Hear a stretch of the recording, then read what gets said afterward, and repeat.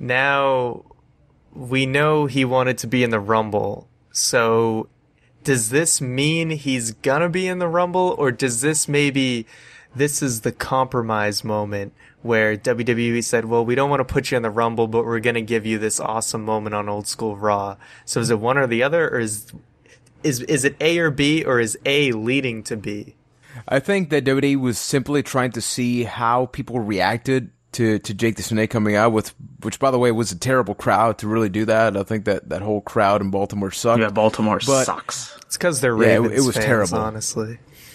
I don't know what's wrestling. Is, is, is that like a hockey team? Yeah, what's that your like what's rugby? your Rugby? footballs?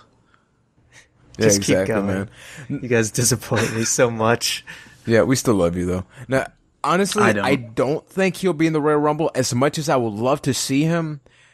I, I, think it would be a stretch. And honestly, do we really need a Rumble appearance? I mean, yeah, he, he didn't he wasn't involved in a match on Raw. You know, he basically came out, you know, did, did his whole a shtick, but he got that moment. And I, me as a fan, I was just so happy to see him there that why then just do the other thing? It would take a lot away from this moment, but that's just me. I agree. And at least, if anything, I hope that this comeback obviously shows that WWE sees that he's serious about getting clean and everything.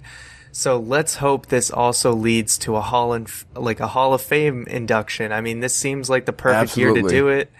Um, this could be a really big class because a lot of people expect you know Ultimate Warrior to be in this class as well. So that would be awesome to have Jake the Snake in there. And I mean, it's as good a time as ever.